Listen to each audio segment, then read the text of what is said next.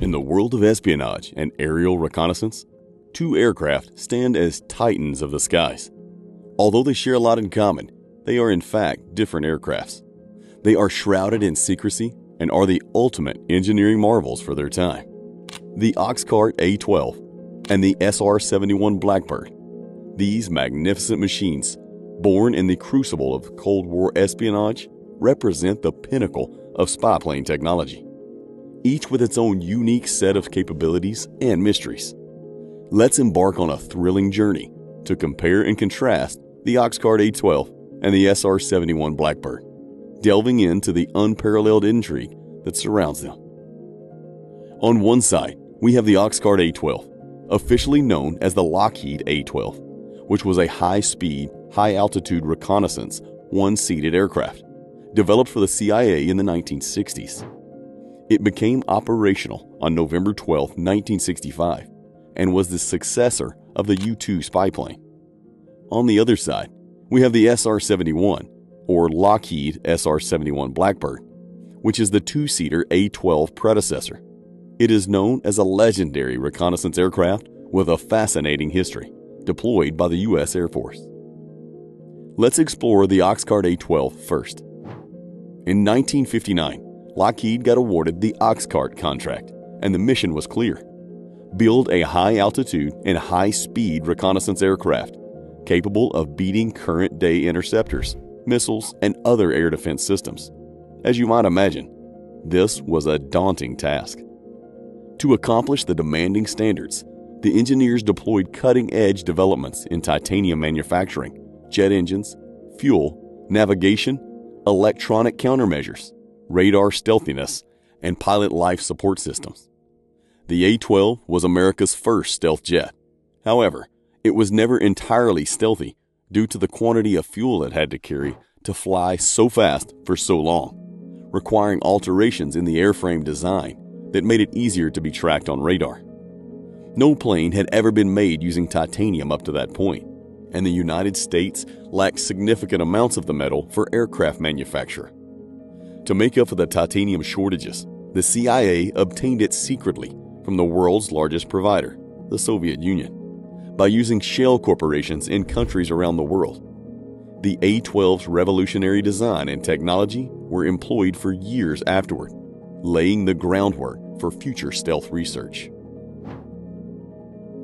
The A 12 was certified fully operational in 1965 after hundreds of hours flown at significant personal risk by an exclusive team of CIA and Lockheed test pilots, achieving a sustained speed of Mach 3.2, just over 2,200 miles per hour, at 90,000 feet altitude, which is an unbroken record for a piloted jet aircraft.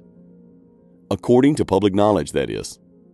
Fun fact apparently, only married men were allowed to fly the A 12 since the agency ran into problems with pilots who were single. This had everything to do with loyalty and specifically with concerns over defecting or selling the secrets about the aircraft to adversary countries. As far as known operations, one is publicly known. From May 1967 to May 1968, the sole A 12 reconnaissance mission, codenamed Black Shield, cruised over Southeast Asia and later North Korea six pilots, and three A 12s from the Kadena Air Base in Okinawa, Japan, performed 29 flights over East Asia as part of this operation. The intelligence mission was a resounding success. Photo interceptors discovered no missiles that could threaten the U.S. and Allied military forces in the South and assessed the status of 70 of the 190 known missile sites and nine other priority targets after carefully examining nearly a mile of film. Contrary to popular belief, neither Chinese nor North Vietnamese radar tracked the initial flights, nor did North Vietnam launch any missiles against it. North Vietnam fired surface to air missiles at Black Shield A 12s three times on subsequent operations in October 1967 and January 1968, but only once caused damage. The reason for its retirement has to do with the sole reason why it was built. It was to evade Soviet Union air defense systems due to its high speed, design, and the radar avoiding materials that were used. At the end of its lifetime, several worldwide air defense systems were capable of capturing it and targeting it with air defense systems. Next to that, the SR 71 development was in full force, having little use of keeping both in service. President Johnson ordered the A 12 Oxcart to be retired by 1968. The SR 71.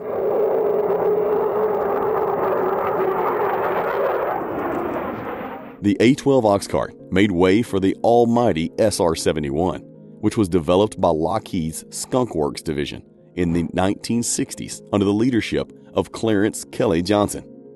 It was designed as a high speed, high altitude reconnaissance plane for the United States Air Force. The first SR 71A prototype, known as the A 12, took to the skies on April 26, 1962. I guess it's no secret where the name of the prototype came from. After a successful testing period, the Air Force ordered 25 more in August 1963. The first SR 71 flew on December 22, 1964. Throughout its operational career, the SR 71's primary operation base was also out of Kadena Air Base in Japan. The SR 71 was renowned for its extraordinary speed and altitude capabilities. It could fly at speeds exceeding Mach 3, which is three times the speed of sound, and reach altitudes of 85,000 feet, and is rumored to be capable of even going higher. Although heavily debated, the A 12 Oxcart has reached a higher altitude, but it depends on the pilot that is asked. The primary mission of the SR 71 was reconnaissance. It could cover vast areas and capture high resolution images of targets, making it a critical asset in the Cold War for intelligence gathering, as well as there. The SR 71 served with the USAF from 1966 to 1998. During its operational years, it conducted countless reconnaissance missions, including over hostile territories. It played an important role in the Strategic Arms Limitation Talks, or SALT. The SR 71 played a role in verifying compliance with arms control agreements, such as the SALT I and the SALT II treaties. Its high speed, high altitude capabilities were instrumental in monitoring arms control measures. Several other wars, like the Yom Kippur War, the Cold War, and spying operations in North Korea and Russia, were conducted with this very aircraft to provide valuable intelligence to the U.S. and its allies. The SR 71's distinctive form, highlighted by its long, narrow wings, sharply pointed nose, and slender fuselage, contributed to its stealthiness. As a result of diverting radar waves away from the source rather than back towards it, this design reduced the radar cross section of the aircraft. Additionally, the delta wing design limited the angles at which radar signals might bounce back, making it more difficult for adversarial radar systems to identify the aircraft. The SR 71's absence of prominent features and sharp edges also contributed to further lowering its radar signature, increasing its radar spectrum stealth. The exact composition of the SR 71's radar absorbing paint is classified, but it typically consists of a mixture of iron compounds and other materials. These materials are designed to absorb radar waves rather than reflect them. When radar waves hit the aircraft's surface, covered with this paint, the paint is formulated to absorb and dissipate the energy of the radar waves.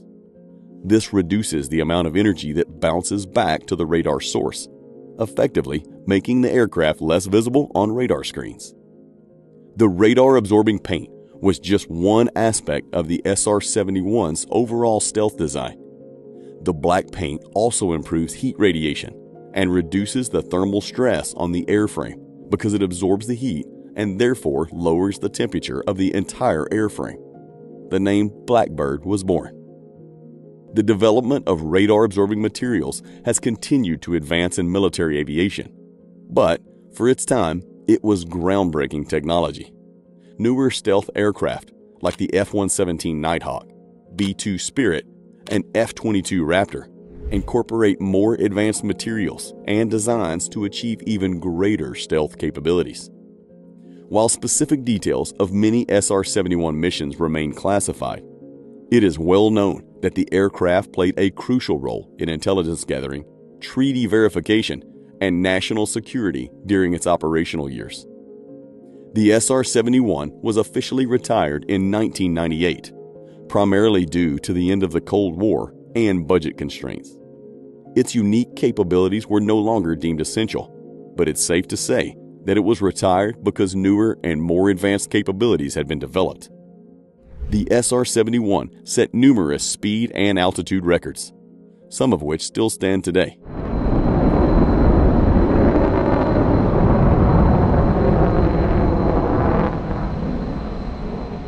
It remains an icon of aviation engineering and a testament to the ingenuity of its designers. As we conclude our exploration of the A 12 Oxcart and the SR 71 Blackbird, we are left with a deep appreciation for the ingenuity, dedication, and secrecy that defined the era of these ultimate spy planes. Together, the A 12 Oxcart and the SR 71 Blackbird reshaped the world of aerial espionage.